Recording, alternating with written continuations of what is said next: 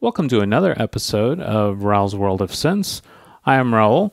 Today we're going to be taking a look at the Doepfer A174 joystick controller right here in the center. Uh, we're going to be discussing a few basics about this module and uh, a little bit later looking at some demonstrations and examples of how you can integrate uh, this special type of controller. Um, but first, let's uh, talk a little bit about some of the basics on how this works. Now, the A174 is going to output two control voltages via this joystick control. One voltage is going to be generated when you move in the up-down direction, and one voltage is going to be generated when you move in the left-right direction.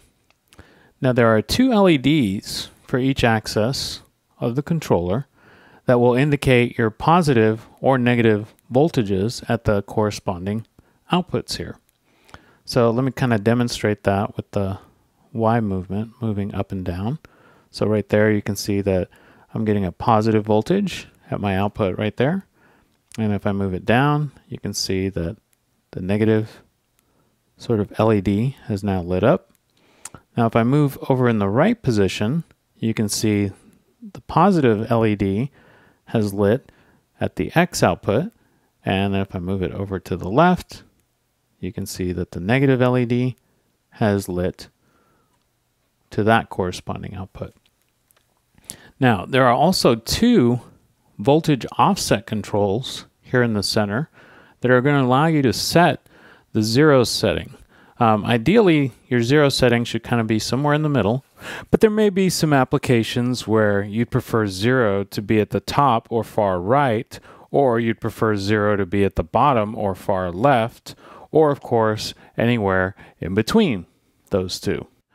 Um, now, this module here is going to actually open up a lot of possibilities for manual control. Uh, some pretty straightforward things are mentioned in the uh, A174 manual on the Doepfer website, such as you know adjusting filter cutoff. Um, you can adjust resonance on certain filters. Um, you can do things like pitch bend on your A110 right over here. Um, you can also adjust the uh, rate of your uh, modulation VCO if you wanted to. Uh, you can use it with VCAs.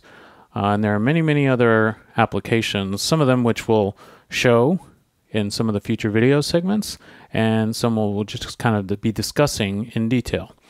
Um, and really, really, you can kind of apply it in any other way that you can possibly think of as well. Not just in the A100 system, but also in other Eurorack modules uh, as well. So, very, very useful, very, very fun module right here. Um, now the total range of the joystick is actually 7 volts.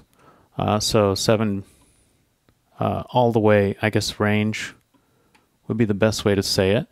Um, in the all the way up position, Y is going to be outputting 3.5 uh, in the positive direction, and then all the way down, it's going to be outputting minus 3.5.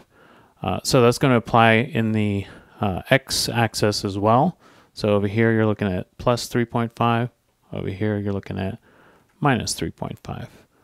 Um, I thought it would be useful uh, to take a look at that really quick.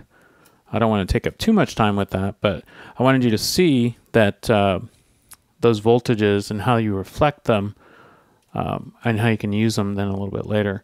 So I'm going to patch my Y output voltage over to my Dave Jones Design O'Tool. So we can kind of take a look at that. And if you take a look over there, you can see. Now I'm in the center, but I'm not quite hitting zero. So this is kind of where, if I wanted to be really, really precise, I could go in here and adjust uh, my offset here. So my top number over there is my uh, Y. So I'm just kind of adjusting it ever so slightly until I get it as close to zero as possible. That's actually not bad. So for my y-axis, I'm going to stick with that right there. Now let me adjust my x just a little bit. See if I can get it as close to zero as I can. And that's pretty close. Okay. So now that we have them kind of both pretty close to zero, or within a, let's see, a tenth, 100th, uh, yeah, within a couple of decimal places there, um, now we can kind of sort of demonstrate how the behavior of this is going to work. Because you have, in addition to the up-down movement and the left-right movement, you also have everything in between. So you have all these different diagonal positions that will generate different voltages for you. Uh, so let's talk about those.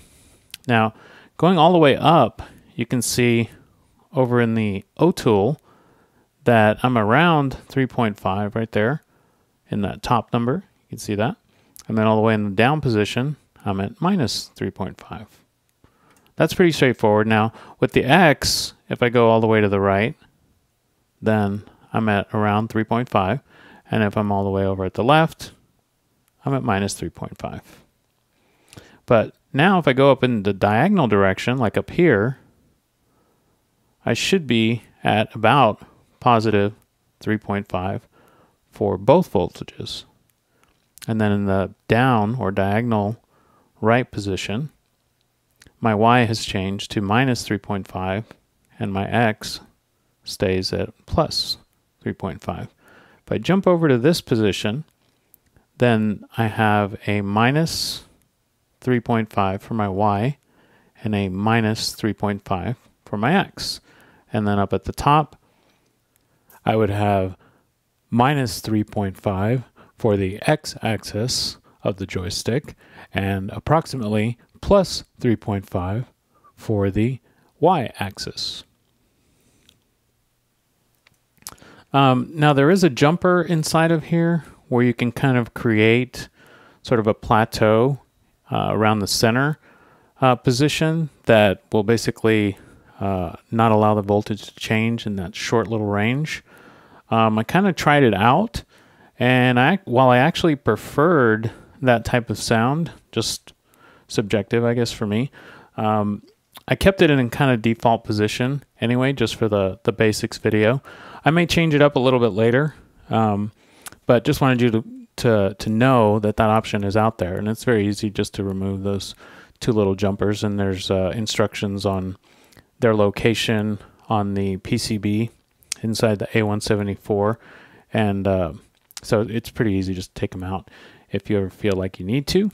Um, one important note that I wanted to make uh, that's also in the manual too uh, is there's a, a, little mention of the spring in here. So I wanted to mention that.